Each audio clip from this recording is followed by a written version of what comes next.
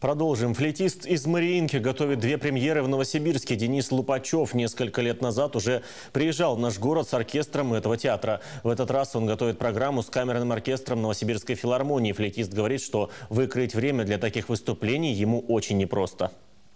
Не так часто, как хотелось бы, это связано и с достаточно напряженным графиком э, работы нашего театра и гастрольным.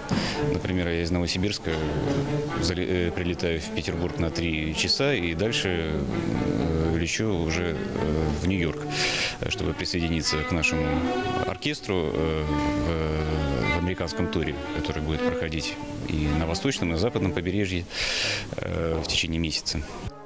Денис – сын известного габаиста из Новосибирска Вячеслава Лупачева, который сегодня занимает должность заместителя руководителя Мариинского театра. Сын пошел по стопам отца. Он выиграл немало престижных конкурсов, окончил Парижскую консерваторию и аспирантуру в Мюнхене. Сегодня он возглавляет коллектив солистов Мариинки, много гастролирует с оркестром театра, преподает и проводит мастер-классы в России и Италии. С Новосибирским камерным оркестром Денис Лупачев репетирует два произведения, которые никогда не звучали в нашем городе. Два концерта для флейты с оркестром, написанных французом Желеве и сыном Иоганна Баха. По словам дирижера оркестра, музыкант, который много работает с Валерием Георгиевым, оказался большим профессионалом. На то, чтобы сыграться с новосибирцами, у Дениса Лупачева ушло пара репетиций.